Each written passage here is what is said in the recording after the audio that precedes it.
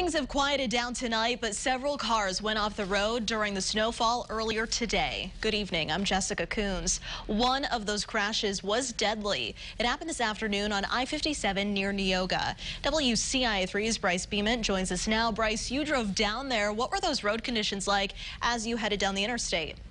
The road conditions were slippery and snowy on Interstate 57. Snowplows were working to clear the interstate, but there were still about 10 vehicles on the side of the road on the way to the scene. Here's a look at the interstate just a little bit past where the deadly crash happened. State troopers say a driver lost control around 1 p.m. They hit a guardrail. Police say they were pronounced dead at the scene. The interstate was shut down for about a half an hour. Officials haven't released the name of the victim. When we headed back to Champaign, the roads seemed a little bit better than they were earlier, but areas could still be slick, so be careful if you head out tonight. Back to you. All right, Bryce, thank you so much. It is better to stay home when conditions are slick, as you heard, but if you do have to head out, give yourself some extra time. Also have a kit in your car ready in case you get stuck on the side of the road.